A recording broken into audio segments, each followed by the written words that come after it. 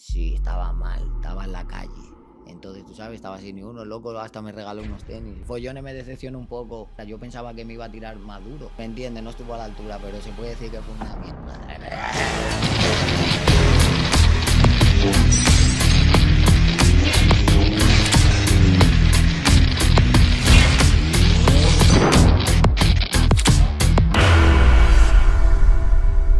Bienvenidos una vez más al programa más picante que tiene España. Tenemos al hincho. Ya tu chabelita. ¿Qué lo que es hincho? Dime todo. Tú sabes, tranquilito, mi hermano. Activoski. Activo. Activo al 100. Hincho, mira, esto más que una entrevista, esto es un conversatorio entre panas. No bulto. Ya tú sabes, de tu pasado. Háblame un poquito, hincho. ¿Cómo fue tus inicios? Bueno, tú sabes lo, lo normal como en el barrio, ¿no? Como un chaval que... Yo no tengo padre, yo vengo de una familia desestructurada, lo primero. Esos son mis inicios personales, tú sabes. Uno- un- vengo de una familia con una madre, una hermana, una abuela, una tía, mucho- muchas mujeres, muchas hembras a mi alrededor, en la casa. Y tú sabes, siempre me ha tocado como ser el hombre, no he tenido esa figura paterna. Ahí vi en la música una salidita y tú sabes, pues gracias a Dios conocí al ultra loco. El ultra Por ese Ah. desequilibrio que tú dices que tú tuviste con, con tu familia, de la, eso te inculcó un poquito a coger la calle, o sea. Sí, bueno, no que me inculcó, sino que es como, ¿qué te digo? Es como a lo que te lleva, ¿no? La necesidad, digamos, porque al no tener como otra opción, otra salida, te ves en esa situación en la calle que hay. También te, te evades en la calle, ¿no, manito? Tú dices, estoy en la calle, aquí por lo menos no afronto los problemas que tengo en la casa, que uh. Y Sí. también tú ves los amigos tuyos que tienen cosas que tú no tienes, tú sabes, más cuando eres chiquito. Que no envidia, sino que tú No dices, coño. Sino tú es- dices, coño, yo también quiero estar bacano, que yo también quiero estar Porque yo no tengo eso, un, un, mismo padre o cualquier cosa, ¿me entiendes lo que te digo? Cualquier cosita que una, una gente normal tiene y tú a lo mejor no tienes ese, ese alcance a tenerlo. Y todas esas cosas son las que te hacen estar en la calle involucrado, ¿me entiendes? Y joder. Pero bueno, también esas cosas son las que te hacen Más llegar a donde estar hoy, hoy en día, ¿me entiendes lo que te digo? Sin esas cosas no serías el hincho. No sé, no, no hubiese sido hincho. Tú hablaste del químico. eh, ¿Cómo tú conociste el químico? ¿Cómo se dio eso? Bueno, al químico yo lo conocí, él estaba de, de Eurotour aquí en Europa, el segundo creo que fue el segundo que él hizo. Y una gente le enseñó la música mía. El chiquito le dicen, chiquito el megadivo, el maca. Cuando él escuchó tu música, se fundió contigo. Y me mándalo a buscar ese español. Y tú sabes, yo no me lo creía cuando me llegó ese mensaje, yo no me lo creía. Yo pensaba que era Que era broma. Sí, que era un relajo de los tigres. Y nada, cuando yo frené ahí, tú sabes, con el ultra loco al 100, familia, desde el minuto uno, con él y con todos los ultra mega, tú sabes, con toda la, toda la familia, todo el equipo de trabajo. Desde cero. Sí. Pero, y, y- y en ese momento, cuando tú lo conociste, económicamente, ¿cómo tú estabas? ¿Estabas No, roto? Mal, mal, claro, claro. Estaba Roto, roto. Roto, roto, roto ten, hermano, claro. Estaba, tú sabes, cortina. ¿Y cómo se dio eso? Conociste a Químico. Vámonos por partes. Después que conociste a Químico, él le gustó tu música, te dijo vamos a grabar. Te llevó para República Dominicana. ¿Qué pasó de ahí para allá? ¿En qué te, in- en, en qué te ha influido eso? Bueno, manito, mira, fue un proceso porque él no fue de que conocerme y llevarme, ¿me entiendes? Yo lo conocí a él como en el 2016, 2015. Y yo fui a República Dominicana en el 2021, 2020, más o menos. Entonces, yo no podía salir de España porque yo tenía una- unas causas judiciales que tenía un impedimento de salida. Entonces, cuando yo conocí al loco, yo estaba pasando por ese proceso. Yo lo que estaba en un piso ocupa, Estaba mal. Sí, estaba mal, estaba en la calle. Entonces, tú sabes, estaba sin ni uno. El loco hasta me regaló unos tenis de, de que me vio. ¿Qué, qué, qué número usar? Pues no, él me vio así el flow. Usted no puede ser mi artista con ese flow. que- Pero no me lo dijo así, tú sabes, sino que es una forma de. Pero tú lo entendiste. Claro, como diciendo, porque uno mismo sabe, ¿me entiendes? El pelo largo, sin cerquillo ni nada, unos bozos grandísimos, ¿me entiendes? Entonces, claro, sino que uno tenía el talento, ¿me entiendes? Y eso es lo que el loco al fin y al cabo vio, ¿me entiendes?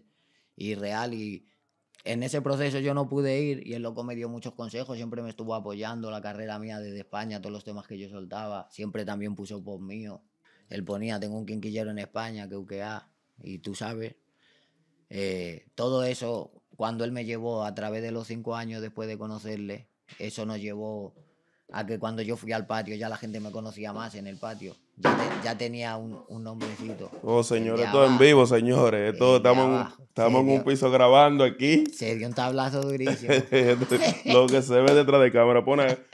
Pues sí, Hincho, continuemos. Entonces, eh, cuando tú fuiste al patio, Hincho, tú que viviste una vida aquí desequilibrada y tú ves como los gantel que hay aquí en España y tú viste los gantel que hay en República Dominicana, ¿qué tú pensaste en ese momento? Coño, aquí son los verdaderos gantel o aquí en España son más gantel. No, no, pensé que es distinto el, sistema de los ganter, ¿me entiendes? Porque aquí en España hay muchos sistemas de ganterismo, tú sabes que hay muchas formas de buscársela. Allí, por ejemplo, los tigres andan con hierro, ¿tú me entiendes? Y hay gente que no son tigres, que también tienen un hierro, y tú bajas al bloque de ellos y, manito, aquí no pasa nada, tú sabes, déjale, y te la enseñan como que nada es nada, ¿me entiendes? Son tigres que no salen del bloque suyo, ¿me entiendes? Que se ve que no, sí, tienen su tabla, tienen para protegerse, pero no son tigres que tienen su tabla para hacerlo mal hecho. ¿Tú me, me explico? Sí, sí. Entonces se ven que hay niveles de bandidaje a todos los lados. Aquí en España también hay bandidaje de vender, de, hay secuestradores, hay extorsionadores, hay gente que te truquean los chi, hay gente que roba carros, hay gente que usa vaina tecnológica para robar, hay Sí, sí, gente que sí. se mete haciendo agujeros. Allí la delincuencia es a hierro. ¿me A hierro ahora, se está metiendo los chisperos y vaina así, ¿me entiendes? Que es una forma nueva. Pero allí el que el joseo de allí es, droga- es robar, eh, vender droga, perdón, o atracar.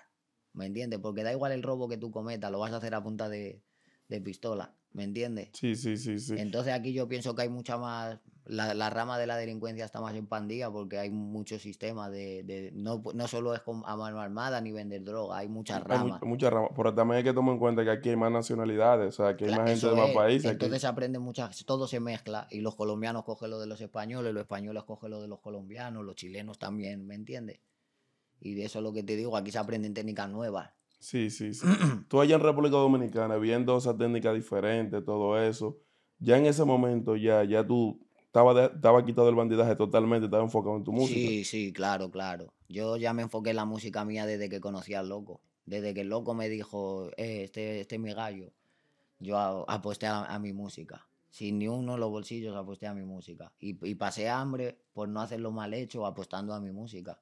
¿Me entiendes? Sin cobrar ni un peso, yo aposté a que el día de mañana iba a cobrar un- una moña. ¿Tú me entiendes? Pero no tenía ni un pan en la mesa, para que tú me entiendas. Yo Ah. aposté a pasar hambre antes de salir y que arrancar un cuello. ¿Me entiendes lo que te digo? Pasé, pasé hambre. Porque yo confiaba, no quiero tener otra causa porque el día de mañana el loco me va a ayudar y me va a pegar porque el loco tiene una fuerza. ¿Tú me entiendes? Yo confiaba porque el loco, la verdad, me dio la vibra bacana y siempre ha puesto en mí real. Y la cumplió después de eso, no, no ha tenido otro caso. Se ¿no? cumplió la misión. se- el otro día estábamos hablando de eso, justamente, que la misión se cumplió, en verdad, se hizo el objetivo, porque él me dijo, eh, tú vas a llegar al patio, te vas a expandir porque el patio es un puente. uh". Y a mí ya me habían dicho eso muchos dominicanos que me habían escuchado las letras. Tú tienes que ir a mi país, que ahí te va, es un puente. uh". Pero cuando me lo dijo Químico fue que yo me lo tomé en serio. Y Es de- químico, un rapero duro que te lo es, está Una diciendo. inspiración, porque tú sabes que Químico uno se la da desde que lo escucha, se funde con él, ¿me entiendes? Ahora porque Químico es, es amigo, ¿me entiendes? Socio. Entonces, que el fanatismo está ahí todavía, pero ya yo veo el amigo, ya yo no veo el artista, ¿me entiendes lo que te digo? Pero uno lo que tiene como fanático Químico está en el top 5 de artistas favoritos de uno, ¿me entiendes lo que te digo? Sí, sí. Entonces una vaina grande tener de referente un artista que, que, manito, no es lo mismo que a ti te quiera ayudar un artista que no te inspira, a que te quiera inspirar el artista que tú dices, este es el mejor. ¿Me está Sí, entendiendo, manito? Porque tú defiendes el legado con orgullo. No es lo mismo que tú te estés tirando con un rapero que sepas que te va a explotar, que tú digas, mierda, este es más duro que mi patrón. Buah", y tú Sí, tengas no. que dar la cara mintiendo. No es lo mismo. ¿Me entiendes? Yo doy la cara orgulloso por los ultramega porque sé que son duros y representan de verdad. ¿Y qué pasa? ¿Me Un ratatá. Claro, es el flow de verdad. Y cuando tú llegaste al patio, eh, tú, que, tú, que ellos vieron los dominicanos, que tú tenías la jerga dominicana, ¿cómo fue eso? Pues tú eres más dominicano que yo. no, tú sabes, hermano, eso normalito, en verdad. Algunos se sorprendían. "Eh, el diablo, tú tienes descendencia dominicana, porque tú sabes que hay muchos inmigrantes dominicanos que van a España y ya se radican aquí y nacen, Sí, son españoles con descendencia dominicana. Y muchos pensaban que yo era de esos. En verdad decían, no, tú- tus padres son dominicanos o tus abuelos o que el diablo y su hermana. Pero nada de eso, tú sabes, eso es por la crianza que yo tengo desde pequeñito. Yo me junté con los dominicanos, en verdad. Y a lo primero la inmigración era poca, aquí habían cuatro o cinco dominicanos, no había más. Ahora que estamos Ahora minando. es que hay muchos. Entonces, cuando yo me juntaba con los dominicanos, era que había cuatro o cinco. Y yo empecé a aprender todos esos códigos rápido porque yo me curaba con ellos. Cuando ellos empezaban a hablar de que, uh, y yo me curaba y empecé a coger todos esos códigos para relajar con ellos. Y cuando ya esos códigos se expandieron, ya yo tenía otros códigos más, tú sabes. más psicópata. Ya. ¿En qué momento el hincho se da cuenta de que está pegado? Que tú dijiste, mierda, ahora sí. Bueno, cuando vuelvo a España de RD. Porque yo en RD no me di cuenta que estaba, di que pegado, pegado. Un ejemplo, tú estabas en RD, fuiste a varias entrevistas, hiciste varios featuring, grabaste uno con Químico. Eh, el de Toquicha lo hiciste dónde, aquí o allá. Allí, allí, eso fue la primera vez que fui también. La primera vez que yo fui, yo le dije al patrón, patrón, quiero grabar con Toquicha.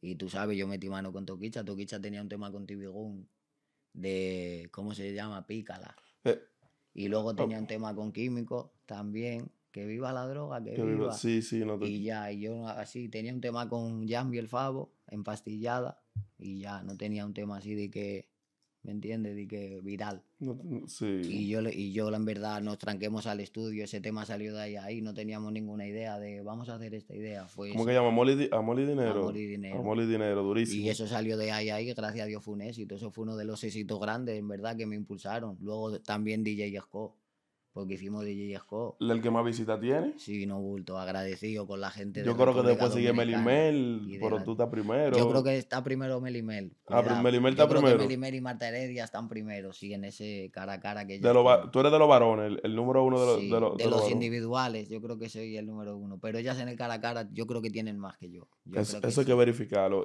Y Toquicha, la relación de, de ustedes dos, ¿cómo está ahora mismo? No está bien, todo frío. Tú tú sabes que ella está dura. Yo sé, está dura, yo me alegro por la Toki, por el Raimi también, que Raimi es un cerebro y tiene, tiene mucha, mucha importancia en el proyecto de Toki. Muy buena gente, compartí con él en estos días. Muy buena, un saludo a Raimi. Claro, Raimi, tú sabes que al 100 Raimi es un cerebro, de verdad. Y no, contento por la carrera de Toquicha, en verdad. Tú sabes que la Toquicha todo frío, en verdad. Está todo Toquicha, frío. Claro, Toquicha está todo.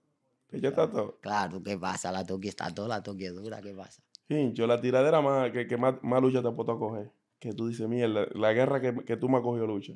¿Con quién ha sido? Bueno, la guerra que yo más cogido lucha, si te digo la verdad, no he cogido lucha, hermano, así en ninguna guerra, real. De verdad, porque yo tenía un par de guerritas así, pero no, no he cogido lucha, hermano, con ninguna. Si te digo la verdad, las he hecho relajando, de verdad. Y cuando el follone te tiró a ti. Sí, él me tiró y en verdad yo pensaba que me iba a tirar más duro, de verdad. Porque mira cómo fue la vuelta. Yo le tiré a él antes de ir a Santo Domingo. Yo le tiré un año antes de irme a Santo Domingo, en enero. Porque yo tengo un tema que se llama La Macedonia. Sí, la yo- Macedonia. Pues yo lo saqué casi por No, día. pero es que en la Macedonia tú le, tú le diste a Ya. saco de gente. Y al follón era uno de ellos. Pero eso es por Día de Reyes o por ahí. Yo lo saqué el 12 de enero, un ejemplo. Eso fue el 12 de enero del 2018. Y yo saqué una barra para follones. O sea, no le saqué di que mucho tiempo, tres segundos hablando de follones. Yo hice todo el año haciendo música. Follones no me contestó, me fui a Santo Domingo. Cuando vine de Santo Domingo me encuentro una tiradera de follones. Claro, porque ya tú estabas tú estabas hot. Ahí fue que yo me di cuenta que estaba pegado de verdad, porque en Santo Domingo yo no me había dado cuenta. Y yo, yo ya había regresado de Santo Domingo, como te había dicho antes. Ahí fue que yo me di cuenta que estaba pegado, porque todo el mundo hablaba de mí, me invitan para la Resistencia, que tú sabes que es un programa. Sí. Entonces yo dije, mierda, tengo que estar pegado porque todo el mundo, viene la Sony, viene la Warner, viene fulanito, viene que uh, a hablarme, a ofrecerme unos cuartos grandísimos. Digo, yo tengo que estar, estar flow Anuel ahora mismo, ¿me entiendes? Claro, porque imagínate, es la mente de uno del barrio. Mira, hablando de la Macedonia, tú, tú, Sí, tú te, te voy a echar el cuento del follón. Entonces, eh, cuando yo llegué, yo vi que él es- estaba sacando la promoción de su nuevo álbum y en una barrita me tiró, como yo hice en la Macedonia, pero ya había pasado un año. un año después, lo que pasa es que ya tú viniste del patio, viniste con el sonido. ¿Qué pasa? Que yo pude hacerme el loco, yo pude hacerme el loco y no tirarle. O pasar porque digo, yo tengo mi sonido, ahora no le voy a tirar. Él no me tiró cuando yo le tiré hace un año. Si yo no le tiro hasta dentro de un año, estoy en mi derecho. Claro. ¿Eso o no? Sí, sí, sí, sí. ¿Qué pasa? Que follón es duro. Follón es- en España es una máxima. Sí. ¿Me entiendes? Follón en España es una máxima, hay que decirlo. No, no, no, no. Yo se la he es- puesto, mira, yo, real, yo se la he puesto en la guerra, pero Follón es una máxima, hay que decirlo, real, yo lo reconozco. Por eso mismo le tiré. Porque si él es un mango bajito, yo no le tiro. ¿Me entiendes lo que te quiero dejar dicho? Cuando yo vi que él me dedicó esa barra, yo dije, déjame, darle al follón. Vamos a dar un cocotazo. y, y te lo juro que el corazón se me puso a mil de alegría. Se me, se me aceleró de decir mierda, como los niños cuando llega el día de Reyes, de decir a ver mañana, que llegue el día de mañana. Así estaba yo con lo, contento de decir a ver si llega mañana para ver que ha salido algo nuevo de la guerra. Y yo estaba con esa euforia también contento porque Se sentía la emoción. es una persona a la que admiraba hasta el momento que yo tuve tiradera con él porque me defraudó los ideales que él tenía. Llégale a la vuelta, de verdad. Y mucha gente va a Sí. decir, sí, mucha gente dirá que UKA. Yo en verdad me considero sensato, ¿me entiendes? Yo sí, yo aunque sea del Madrid, te puedo decir que mejor el Barça o viceversa, ¿me entiendes? Aunque sea español, puedo decir que Santo Domingo es mejor y viceversa. ¿Me explico lo que te Sí, digo? sí, no sí, sí, importa. sí. Tú Yo- eres que- real, tú dices lo que es. Lo que pienso, en verdad. Y, y si hay unos datos puestos, tampoco voy a mentir, ¿me entiendes, manito? Sí, sí. Entonces, Follones me decepcionó un poco por, por los ideales que hizo de la promoción de la tiradera. Yo pensaba que me iba a tirar más duro. También, o sea, fue un disparate la tiradera. No fue un disparate por no ofenderle, pero no estuvo a la altura. No tuvo a su altura. ¿Me entiendes? No estuvo a la altura, pero se puede decir que fue una mierda. Ah, lo Es dije. verdad, porque mm, eh, me dijo, ahora cógelo suave, suave. Eso fue lo que él me tiró. Una canción que se llama Boca Peste, así me tiró. Y yo le contesté a él con Pedrito Picapiedra. Y ahí acabó. Y le contesté mataste. en 12 horas. Fue que yo le, le respondí con tu video, 12 horas. El mismo día que él sacó el tema, yo le saqué el tema el mismo día. Que yo no le dejé ni su tema avanzar. Se lo frisé de una. ¿Me entiendes? El disco de él tiene, no sé si son 2 millones o 3. Y el mío tiene como 30 Está cogiendo pile view, eh. cogía y todavía sigue cogiendo. Sí, ¿Me sí. Entonces yo, al ver yo cómo él planeó, porque ya en, el- la canción de él ya salía una promoción adelante, todas esas cosas, yo como que digo, mierda, está haciendo marketing. Yo sabía que él estaba usando mi sonido. Me daba igual, porque yo digo, coño, vamos a hacer una guerra con él, medirme con él. Yo vengo de la batalla de gallos, a mí esa vaina me gusta, ¿me A entiendes? ti te gusta guerrear. Eso es, pero amistosamente, yo no tengo una personal con él, ¿me entiendes? A No, porque que- esto es negocio. pues yo veo que él se lo coge como muy personal todo eso, ¿me entiendes? Y ya quiere como mm, en- envenenar a la gente. Que él me acusa a mí de querer envenenar a la gente. Y luego e- eres tú el que lo hace. Si te pones a analizar bien, porque no hay que ser tonto para tú analizar. Él es el que me está metiendo mensajes de odio. Yo a él no le voy a decir que le voy a dar un machetazo en una canción si él no me dice que me va a dar una galleta. Me di- él me dice, yo mido dos metros. Mira, él me como tú, es que tú eres el ejemplo perfecto. Tú eres más grande que yo de tamaño. Y me dices que me vas a dar una galleta. Tienes que defenderte. ¿Y cómo me defiendo yo contigo? Con un machete. Con un Para machete. estar tienes que- igualado. Y eso es lo que yo le digo a él entonces, que yo agarro, mides un metro y medio, no pasa nada. Yo cojo un machete, así la pelea está igualada. ¿Me entiendes? Y sencillo, pero son vainas que la gente a lo mejor, los fans de él dicen, ah, son rimas de preescolar, pero cuando él me dice eh, vainas así, de que él me va a dar una galleta y que mide dos metros diez, eso no es una vaina de preescolar. ¿Me entiendes? Hay que No, usar la ya. lógica para los dos sentidos, por los Sí. dos bandos, manito. Entonces, a mucha gente acusaba de que la tiradera nuestra era planeada. Yo tuve que salir a desmentirlo, él mismo tuvo que salir a desmentirlo, porque los fans de él estaban acusando, no puede ser que el hincho la haya tirado tan rápido. Ellos porque no saben el sistema de Santo Domingo, de que tú tiras hoy, mañana tiras. Eso fue con todo. Ya, ellos no saben eso aquí, ellos se escriben y tardan mucho, porque el productor cuando te hace el vídeo cámara dice, no, tengo que editarlo, tengo que... Y tú sabes que se tiran mucho, aquí el Sí, sí, sí, productor de aquí desde que termina ya está con el ordenador prendido, ¡guau! editando. Tú Como lo que hicimos ahora. Eso fue ayer de una ¿Qué vez video. y- Tú estás claro, entonces eso no lo tenían aquí, eso lo implementé yo aquí en el género de España, para que no se vaya nadie de que por las nubes, eso fui yo que lo implementé, porque yo no tuve que decirlo, la gente solo lo vio, la gente es inteligente, lo ve y dice, ah, lo que hay que soltarte más rápido, como hace el hincho. O sea que tú, aprendiste algo del negocio en República Dominicana y lo implementaste aquí. Todo. Yo todo el sistema que yo uso en España es de República Dominicana, para que tú me entiendas. Lo único que yo uso de aquí de España es lo monetario. ¿Me entiendes? Yo solo uso el sistema de pago español. Tú me Despu- estás Después entendiendo. el mismo sistema de allá. El manejo que yo uso monetariamente es el español. Ahora, el sistema que yo uso artísticamente es el de, el de allí, El el, del del patio, patio. Yo ando con patio. mi manada para todos los lados, ando con mis cascabeles, ando alineado. Alineado, no ¿me tiene flow. Hoy porque no me he recortado, por eso tengo mi gorra, pero tú sabes, ¿me entiendes? No, no Como un alineado. tigre disimulado. ¿Qué pasa? ¿Me entiendes? Si no andará bonitillo. ¿eh? Pero es el flow. Pincho, seguimos la Macedonia. Mira, tú en ese tema también le tiraste a Omar Montes. Sí. Él no te contestó. No, ¿Qué sí, sí me, opinión? sí me ¿Él te contestó? Sí me contestó. No me contestó en ra, pero me dedicó 700 historias. ¿Me entiendes? Entonces eso no es una contestación en rap, pero es un, si tú no me das importancia, no me hagas una historia de Instagram tampoco. ¿Me entiendes? No me Oh. digas eh, lo- drogadicto a- en tu historia, porque yo voy a seguir avivando esa guerra hasta el final de Hasta los días. ¿Me entiendes? Porque si tú es verdad que no me estás parando bola, no me dediques ningún vídeo en Instagram. ¿Eh o no? Sí, Si ya te tengo muy enfadado cuando me veas por el barrio, que tú me buscas o lo que sea, o en un party, dime algo. Eh, una, una tobita, ¿qué pasa? ¿Me entiendes? Dame un toque al móvil, que lo- bueno, antes no lo tenía. Uh, mm, ¿qué pasa? ¿Me entiendes? Pero todo frío, eso fue en verdad. A él yo lo incluí porque yo lo conozco del barrio de hace mucho, a los Marmontes. nos conocemos mucha gente en común, ¿me entiendes?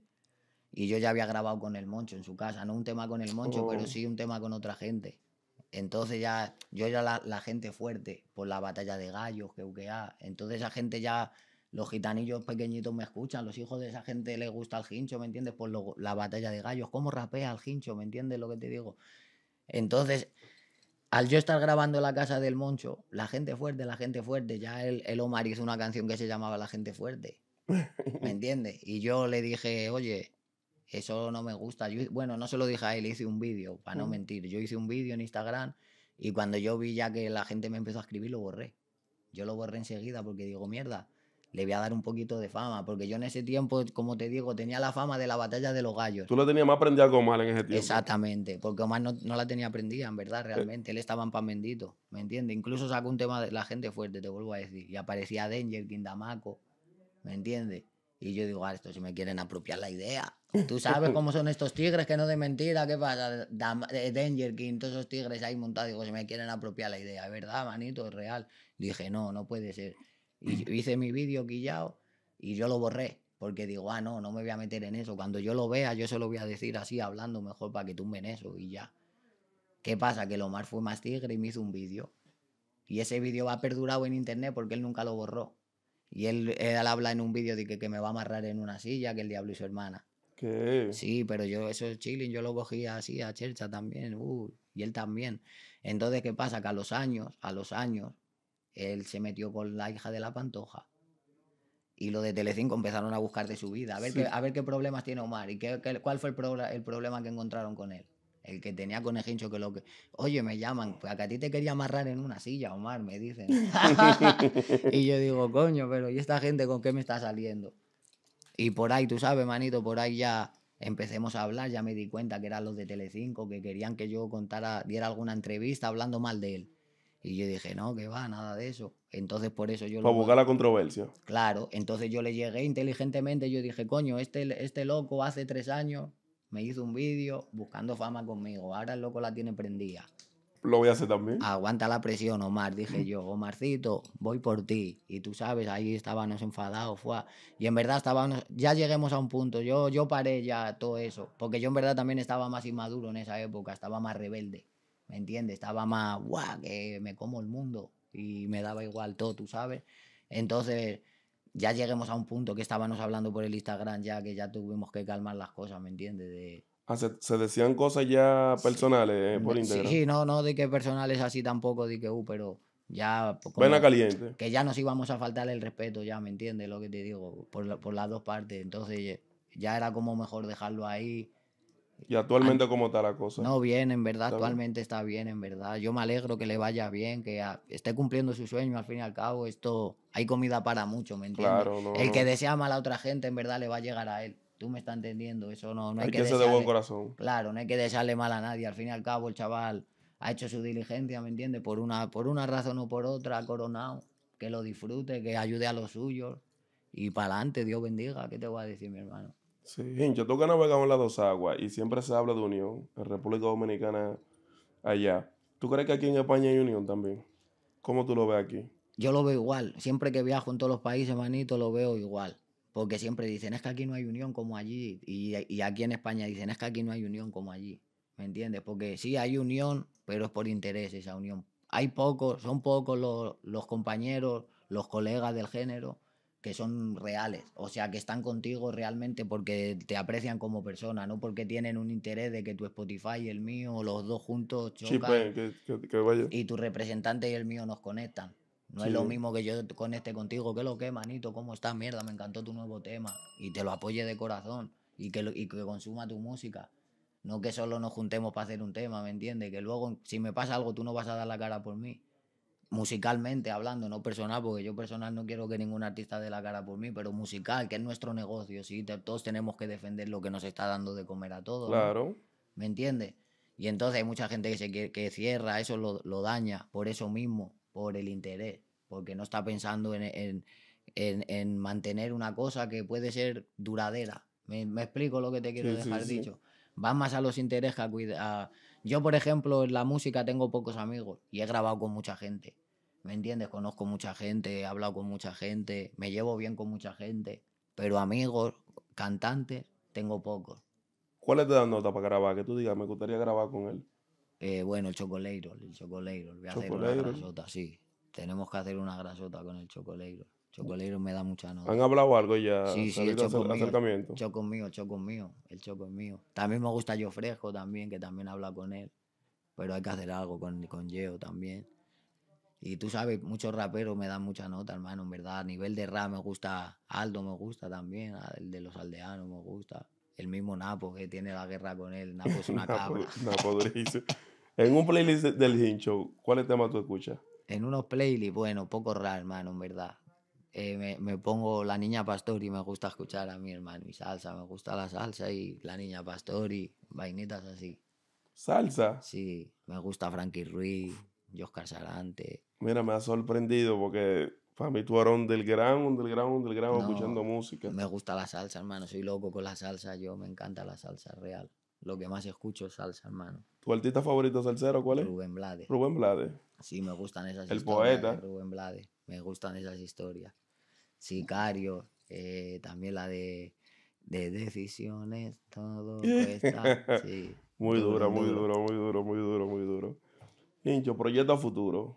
Bueno, eh, estábamos pensando en sacar un álbum, pero no lo vamos a tirar. Vamos a ir sacando temas como siempre, lo que nos ha funcionado. Sencillo. Sí, sencillo.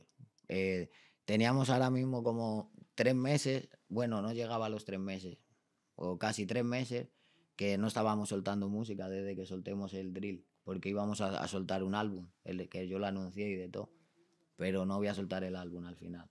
Ya no lo he anunciado, pero bueno, en estos días lo voy a anunciar, ya lo anunció por aquí. Y al final eso, lo voy a sacar en, en sencillos, en verdad, porque es lo que siempre me ha resultado, en verdad, y tampoco me quiero poner a arriesgar ahora en un negocio donde hay... in- la industria compra mucho los discos a los artistas, le compran los álbumes, ellos invierten, te dan tu adelantillo, uh, y ellos te posicionan los temas. Entonces no quiero competir contra eso porque yo no tengo eh, fuerza para No tiene hacer eso. disquera todavía. Claro, no tengo, no, ni la quiero tener, ¿me entiendes? Yo Sí. quiero tener la mía propia, Yo, ¿me yo, yo te iba a hablar de eso porque al principio tú dijiste de unas ofertas que te hicieron económicas de una disquera y tú no la aceptaste. ¿Por qué? No, porque aquí en España, manito, eso es que eso ya es de política, hablar político. Porque aquí en España, tú sabes, los impuestos están muy mal. Pero, Aquí te roban, hermano. pero tú no deberías llevarte de eso porque a- No. eh, uno paga impuestos si uno gana. Y entonces, manito, si yo gano un millón, me van a quitar, ¿cuánto me quitan? Do- 200 y- ¿Cuánto? 200 mil y pico. 200 mil y pico. Seguro. No, hermano, te quitan 450 mil. Solo de IVA. 450 mil euros. Sí. El 45%, porque ya está superando las grandes cantidades, ¿me entiendes? Tú entiendes de que tú por, por tu cuenta, el paso, tú lo vas haciendo sin tener que pagar. Exactamente, pero igualmente tengo que pagar, porque si a mí ahora mismo me llega 20 mil este mes, yo cada tres meses tengo que declarar algunos 14, 7. Pues entonces lo mismo, Si yo, gano, prácticamente. si yo gano 60 cada tres meses, tengo que pagar algunos 14. Entonces, ve sacando cálculos, cuánto se está quedando de tus impuestos. ¿Cuáles ofertas te han hecho? Me han hecho un par, de ofertas. La con- más alta, la más jugosa que tú No, te lo hay- hayas pensado. A mí es que no me gusta hablar de dinero, pero ahí están los gretis míos que ellos saben de verdad y no me dejan mentir. Han pasado un palo. Han pasado, han pasado un palo, han pasado más de un palo. Pero no las he aceptado real, no los he cogido. Porque, oye, si le quitamos un palo, 400 y pico, que tú dices que le quitas, te van a quedar 600 y pico, No, me 700. quedan 550 Está mil. bien, 550. Y luego quedan. tienes que pagar IRPF. Te van a quedar medio palo, vamos a decir. No, te, te, yo te voy a seguir metiendo impuestos, Sí. hermano. Yo te voy a decir todo lo que me van a quitar. Para yo decirte si me merece la pena vender un, un pro- Es como que tú digas que tú me vas a vender una casa de un millón de euros, manito. Mira, tú me vas a vender tu mansión de un millón de euros cuando tú solo vas a cobrar 300 mil o 400 mil. Bárbaro. Ah, pues da- dímelo para comprarte ahora mismo la casa. No, yo, yo lo que te, digo Porque que si tú vendes tu casa de un millón es para tener un millón en, en tu bolsillo, digo yo. ¿Me entiendes? no. Entonces, si yo lo vendo en el patio, para que tú me entiendas, mira la diferencia. Si yo lo vendo desde el patio, yo estuviera en Alofoque diciendo, manda 40 millones de dólares. ¿Me entiendes? Pero no estoy en el patio, estoy en España y tengo que pagar muchos impuestos, manito. No, yo lo Porque sé que te aquí, atracan, aquí, aquí, te aquí tú- atracan. lo que yo te, lo que te digo, Hincho, es que de igual manera tú vas a tener que pagar impuestos, aunque sea poco a poco. Entonces, no entiendo por qué tú no lo coges y pagas los impuestos que tienes que pagar y te quedas con esa X cantidad neto completa. ¿Me doy a entender? Porque si tú, lo, vas- si tú te lo vas ganando de poco a poco, el mismo IVA te lo van a cobrar a mucho Pero y a lo- poco igual. pero lo hago en el momento y sé que dependo de lo que tengo. Mira, hermano, si yo te compro a ti, por ejemplo, llégale a la vuelta, yo te no te compro, yo te doy un millón a 10 años, a recuperar a 10 años. ¿Me entiendes? Ya tú en 10 años no vas a ver dinero de la música que tú hagas. Ok, tú lo que no quieres es estar atado a una disquera. No, atado a una disquera no, perdóname, atado a una disquera no, porque yo con mi millón me quedo atado con la disquera, que se echen agüita a la disquera, no canto más en la vida, me voy a Jamaica a vivir ahí, no, que no quiero cantar, ya, yo, yo quiero ser rico, ¿me entiendes? Lo que voy a coger trote así de aviones y de que tú estás loco, ¿me explico? Sí, sí, sí. Yo lo que quiero es poder vivir esos 10 años, con un millón vivo con 100 mil al año, ¿me entiendes lo que te digo? Ya yo me lo administro 100 mil, 100 mil, 100 mil, 100 mil, más lo que uno pique, porque uno gante, fu, se echa su moña. Tú estás limpio ya. Claro que estoy limpio, gracias a Dios. ¿Qué pasa? Ya hay par de pesos, gracias a Dios. Ahora, ¿qué pasa? Te voy a dar un dato. Si a mí del millón me dejan 400 mil para 10 años, porque los 600 mil me los han quitado en impuestos, y yo tengo que tirar con esos 400 mil durante 10 años sin saber que mi forma de buscar dinero legal lo tengo cerrado, porque de ahí mandan los 400 mil euros, manito. ¿Me he explicado ya- no me he Sí, explicado? ahora, te- ahora me expliqué. Entonces no te interesa, no te interesa 10 coger años. ese millón porque tú dices, mierda, ¿para qué voy a coger ese millón? Si toda la música que yo estoy haciendo durante estos 10 años es para esta gente. Toda la música que he hecho es de esta gente. ¿Me explico? Sí, sí, sí. Y del millón no me queda un millón porque he tenido que dar a España 600 mil euros. ¿Me explico? Me Sí, quedo sí. 400 mil. ¿Qué voy a hacer 10 años con 400 mil euros? Sí, yo puedo invertir, puedo comprarme una casa de 200 mil y ¿qué hago? Con otros 200 mil. Tengo que pagar, la- te, te hablo, hermano, luego hay que pagar pila de, de cositas que tú tienes dinero ahí, te haces una transferencia, uy, ya. Te pasaste a pagar una moña. Tú estás loco, mi colega. Sí, sí, sí. Eh, Hincho, mira, eh, salió un tema con, con Chelo Chá. ¿Cómo se dio ese junte de ese tema? No, ese junte durísimo, tú sabes, ya el patrón me lo fuera dicho cuando yo estaba en República Dominicana la primera vez, me dijo, hay que grabar con el chelo. Y activo. durísimo, ese tema quedó durísimo. No, el chelo duro, el chelo tiene respeto real porque el chelo tú sabes que es un antes de la vieja escuela, de los pioneros en verdad, tú sabes, con que no sea de la primera línea, es de la primera media, porque él es componente del mono, salió con toda esa rama de raperos, tú sabes, representó a Herrera de los primeros también, no bulto, y el chelo la tiene real, no bulto, en verdad. Aunque ahora no está en su mejor momento ni nada, pero tú sabes, el chelo es un referente en el rap dominicano, tienen que darle su respeto, en verdad, no bulto. Sí, sí. ¿Cuándo vuelve para República? Bueno, ahora tenemos un problemita judicial y no podemos, tenemos un... ¿Impedimento de salida? Sí, pero bueno, eso se resuelve pronto. Yo creo que en siete, ocho meses puedo viajar. Así que con Dios delante, en verano, después del verano, estoy por ahí por el patio disfrutando de- del Caribe. Madre mía, qué bueno. Ah, pero me avisa que nos vamos juntos para allá. Para el 27 de febrero. Fuego con todo. Hincho, dale un mensajito a la, a la juventud que quieren ser raperos y, y- o que están en mal paso. Tú que ya saliste de esa vida. O sea, ya tú has hecho un cambio muy importante en tu vida para bien. Entonces, déjale un mensaje a esos muchachos que están desubicados, que quieren estar haciendo lo malo, que creen que lo están haciendo bien. No, que eso en verdad no da nada bueno. Tú sabes que cuando uno es un niño uno se siente un superhéroe, en verdad. Uno hace pila de lo que eras, quiere ser el mejor del grupo, ¿me entiendes? Quiere ser el que más destaca, pero eso no está de nada, en verdad. Los niños lo que tienen que ayudar en la casa, en verdad, estudiar, los que sean más pequeños, estudiar, porque estudiando es que se aprenden las cosas. Parece que no estudiar como te enseñan en la escuela, no, no me refiero a eso, me refiero a estudiar de aprender las cosas que, te- que importan, ¿me entiendes? Porque es importante saber, manito, para tú saber cosas en la vida, ¿me entiendes? Entonces yo A los niños que están haciendo lo mal hecho le diría a mi hermano que, se- que no anden por esos caminos porque lo malo no traen a bueno. La misma palabra lo dice, malo. Y, que se dejen de andar en esos caminos y que aporten a la, a la familia suya, en verdad, que sus madres también fueron niñas, sus padres fueron niños, hicieron cosas mal hechas, han hecho muchos sacrificios para que ellos puedan estar bien, ¿me entiendes? Sí, sí. Y esas cosas, no la, un niño no la valora porque un niño no tiene esa capacidad de comprensión, ¿me entiendes? Para decir, ah, mi- mis, padres, uh". pero tú sabes, manito. También es normal cuando eres niño hacer las travesuras porque no las vas a hacer de grande, ¿me entiendes? Cuando eres niño que De- tienes, de- debe quemar esa etapa, ese ciclo. tienes que quemar todas esas cosas, uh, la malicia, ¿me entiendes? Tienes que quemar como esa malicia para luego cuando eres grande no querer saber de esas cosas, ¿me entiendes? Pero eso es lo que digo, que no trae nada bueno, que está, no está mal que hagan sus travesuras de vez en cuando, una travesura, uh, Sí, sí, sí. Así chocan y aprenden. pero nada de la malicia, así ¿me entiendes? De querer pasarse ya a los abusos y esas cosas, está muy mal, eso no, no- que no lo permitan, si lo ven ni nada de eso, en verdad. A Hincho, te agradecemos que hayas aceptado la invitación, Hincho. Un aplauso a Hincho.